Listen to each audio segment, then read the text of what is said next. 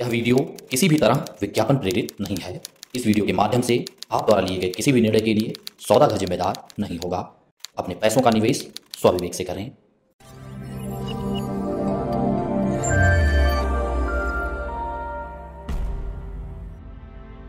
नमस्कार साथियों, स्वागत है आप सभी का सौदागर के आज के इस नए वीडियो में। साथियों, दोबारा सौदागर का कैमरा पुणे साउथ में आ चुका है और आज हम आपको वहाँ दिखाने वाले हैं जहाँ पे हमने पिछले वीडियो में ख़त्म किया है। तो आपको बहुत सारी नई चीज़ें देखने को मिलेंगी। एनआईबीएम से लग के जो बड़े प्रोजेक्ट्स हैं, जैसे आपका रहेजा है, वॉयज़ है, इन सब का डिटेल वर्क प्रोग्रेस देखेंगे, रोड कंडीशन भी देखेंगे, आखिर क्या हलचल है, फ्यूचर में क्या हो सकता है और अभी क्या चल रहा है, ये सारी चीज़ें देखेंगे इस वीडियो में। यदि आपको अच्छा लगे तो लाइक, शेयर करने के साथ साथ अपने चैनल सौदागर को सब्सक्राइब करना ना भूलें। तो साथियों, अभी हम लोग हैं उंदरी हड़पसर रोड पे। और जैसा कि हम लोग पहले ही देख चुके हैं नैती काउंटी के बारे में तो अब यहाँ से आगे बढ़ेंगे टूवर्ड्स एन रोड की तरफ़, और आपको यहाँ पे जितने भी प्रोजेक्ट हैं, उसको दिखाते चलेंगे। वीडियो को आप लोग आखिरी तक देखें, क्योंकि आपको तमाम इन्फॉर्मेशन ड्रोन व्यू के साथ भी हम लोग दिखाने वाले हैं। और जैसा कि हमने कुछ वीडियो में लाइव करने की कोशिश की थी तो जितनी भी चीज़ें छूट गई हैं, वो सब इस वीडियो में हम लोग कवर करने वाले हैं। यहाँ पे हम लोग कोरियंथन का मेन एंट्रेंस क्रॉस करते हुए आगे राइट साइड में जो आपको दिख रहा है, ये है मार्वल आइसोला का प्रोजेक्ट जिसका लास्ट टावर अभी भी पूरी तरीके से कंप्लीट नहीं हुआ है। इसे भी हमने एक वीडियो में आपको दिखाया हुआ था। चलिए फटाफट अब चल पड़ते हैं सीधा एनआईबीएम रोड पे।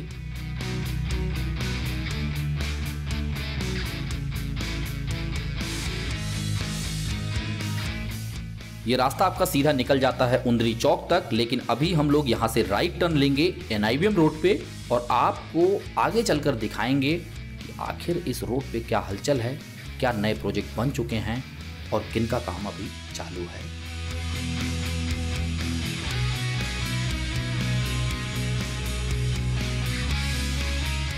जैसे ही हम लोग एन रोड पे थोड़ा सा आगे बढ़ते हैं, अगर आप देखें तो राइट साइड में एक रास्ता जा रहा है जो आगे जाके वाई सेक्शन हो जाता है।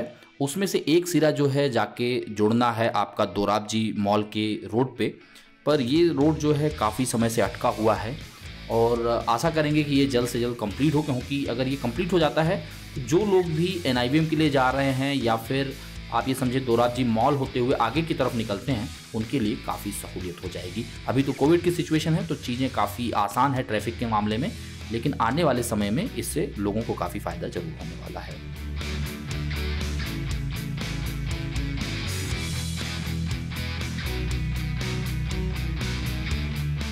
और अभी अगर आप देखें राइट साइड में आप जो है मार्वल सेंग्रिया का प्रोजेक्ट देख सकते हैं। एक तरीके से काफ़ी प्रीमियम प्रोजेक्ट है, लेकिन कुछ कारणों बस जो मार्वल की स्थिति हुई, वो सबको पता ही है। उसकी वजह से इसका थोड़ा चाम ज़रूर डाउन हुआ है। लेकिन स्पेस ऑफ़ द फ्लैट की बात करें तो काफ़ी अच्छा है। अब इसे क्रॉस करते हुए हम लोग ले लेंगे राइट टर्न जिसे इंटरनल रोड के नाम से जाना जाता है और आगे चल के टी पॉइंट से लेफ़्ट टर्न लेंगे टूवर्ड्स दोराबजी मॉल की तरफ़।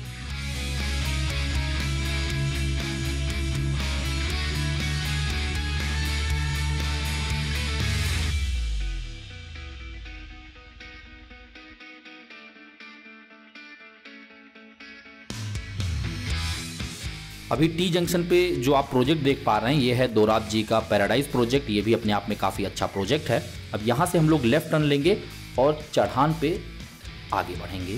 जैसे हम चढ़ान पे चढ़ते हैं राइट साइड में आप देख सकते हैं वीटीपी ग्रुप का अर्बन स्पेस प्रोजेक्ट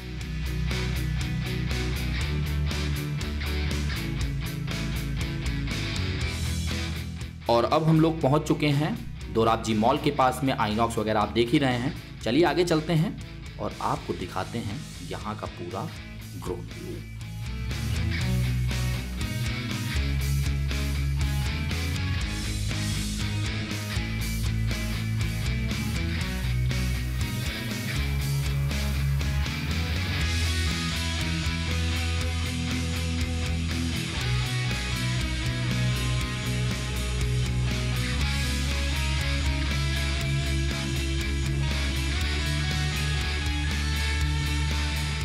अभी आप सामने जिस रोड को देख पा रहे हैं, इसे विबग्योर स्कूल रोड के नाम से जाना जाता है, क्योंकि यहाँ पे काफ़ी फ़ेमस वेबक्योर हाई स्कूल भी मौजूद है, जो कि आप देख ही पा रहे हैं अभी।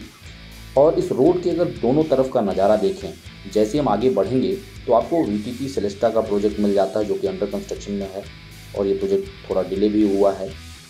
और आप आगे बढ़ें तो यहाँ पे अगर आप देखें तो रहेजा के तमाम कंस्ट्रक्शन मौजूद हैं। जिसमें से कि मेजरली आपको रहेजा विस्टा का सेगमेंट फ़ेज़ वन आपको दिख रहा है अभी लेफ़्ट साइड में, इसके आगे भी रहेजा है। और राइट साइड में रहेजा विस्टा प्रीमियर है। उसके कई टावर हैं और ये पूरी तरीके से रेडी हो चुका है। और इसमें इन्होंने एक नया सेगमेंट भी लॉन्च किया है।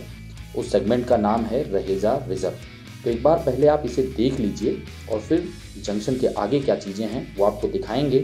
और एक दो बिल्डर ऐसे हैं जिनका प्रोजेक्ट रुका पड़ा था, आगे क्या डेवलपमेंट हुआ है, इसकी भी पूरी डिटेल आपके सामने हम रखेंगे।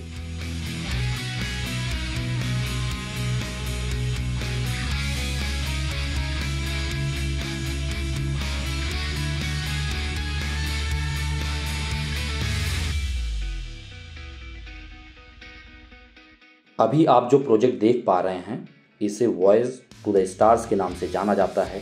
आप में से काफ़ी लोग इस प्रोजेक्ट के बारे में सुने भी होंगे। 2015 में इस प्रोजेक्ट को एक्रोपोलिस डेवलपर्स ने लॉन्च किया था और 2019 आते आते ये प्रोजेक्ट पूरी तरीके से थमसा गया। यदि आप देखें तो ये पूरा प्रोजेक्ट दो एकड़ से ज़्यादा के एरिया में फैला हुआ है। पाँच टावर्स हैं यहाँ पे 400 यूनिट्स के आसपास यहाँ पे फ्लैट्स अवेलेबल हैं, जिसमें थ्री एंड फोर बी के हैं और इसके साइजेस की बात करें तो 2600 स्क्वायर फीट का जो है आपका थ्री बी एच के मिल जाता है।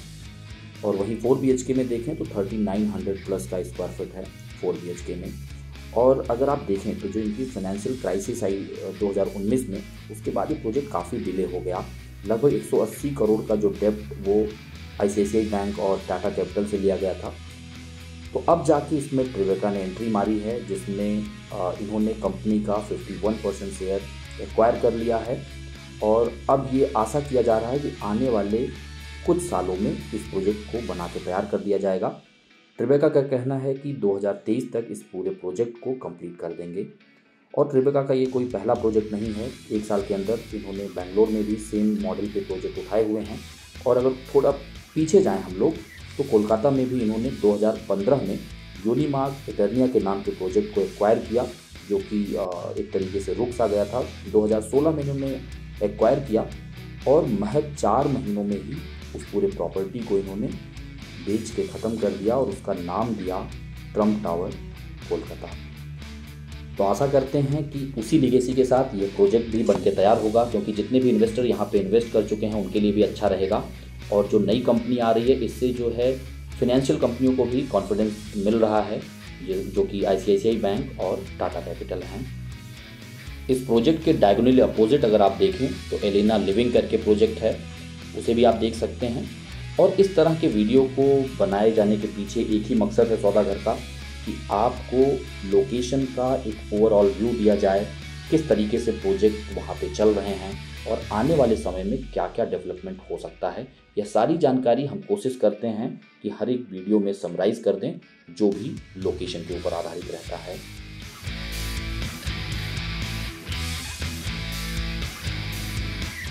यहाँ पे इंफॉर्मेशन जुटाते जुटाते हमें काफ़ी टाइम लग गया और अब शाम हो चुकी है।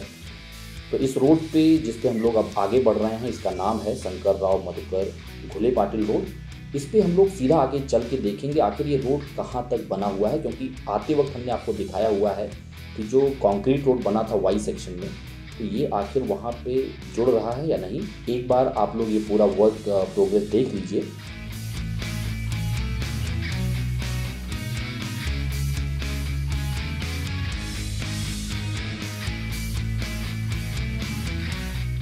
तो अगर आप देखें तो यहाँ पे रास्ता पूरी तरीके से कच्चा हो जाता है और आगे जाने के बाद फिर इस रास्ते से आप उस कंक्रीट रोड तक नहीं पहुँच सकते हैं।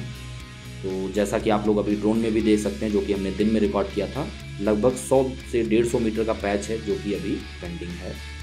तो साथियों, आशा करते हैं आप सभी को सौदा घर का यह प्रयास, जिसमें आप लोकेशन के डेवलपमेंट के साथ साथ प्रोजेक्ट डेवलपमेंट, रोड डेवलपमेंट देख पाते हैं। आप सभी को पसंद आया होगा। आप अपनी प्रतिक्रिया हमें कमेंट में लिख के बता सकते हैं और ऐसे ही तमाम वीडियो को लगातार देखने के लिए आप अपने चैनल को सब्सक्राइब करना ना भूलें। जल्द मिलेंगे एक नए वीडियो के साथ, एक नई जानकारी के साथ। तब तक के लिए धन्यवाद। नमस्कार।